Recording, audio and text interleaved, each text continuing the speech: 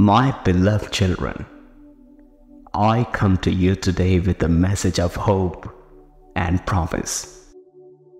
For too long, many among you have carried burdens that weigh heavy on your hearts. But hear me now, for I bring tidings of great joy. The burdens that have plagued you for so long will come to an end this week. I see the tears you have shed in the darkness of night, the prayers whispered in desperation, and the longing for relief that fills your soul. You have cried out to me, and I have heard your cries. Know that I am not indifferent to your pain. I am intimately acquainted with every trial and tribulation you face. This week, I will move mightily on your behalf. I will break the chains that bind you, shatter the yokes of oppression, and release you from the burdens that have held you captive for far too long. Trust in me, my dear ones for I am faithful to fulfill my promises. You may ask, How can we be sure, Lord? How can we trust that this week will be any different from the ones that have passed? I tell you, have faith as small as a mustard seed, and nothing will be impossible for you. Believe in my power to bring about miraculous change in your life. And it shall be done according to your faith.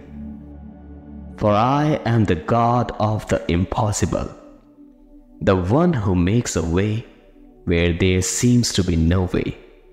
I specialize in turning mourning into dancing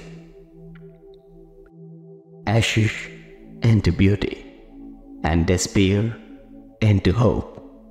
And this week, I will do just that for each one of you who trusts in me wholeheartedly. Do not be discouraged by the trials of yesterday or the uncertainties of tomorrow. Focus instead on the present moment, knowing that I am with you here and now. Cast your cares upon me, for I care for you more deeply than you can fathom. As you go through this week, keep your eyes fixed on me.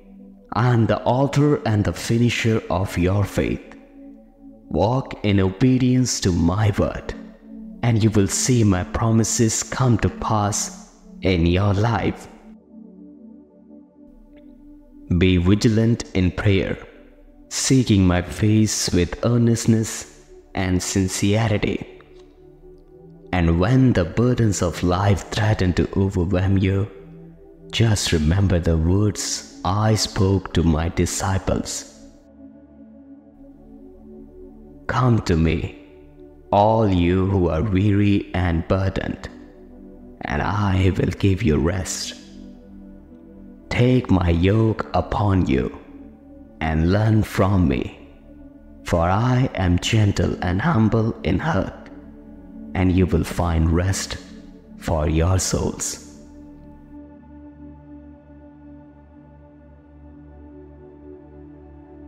I am with you always, even to the end of the age. So be of good cheer for victory is yours in me. With all my love, your Savior.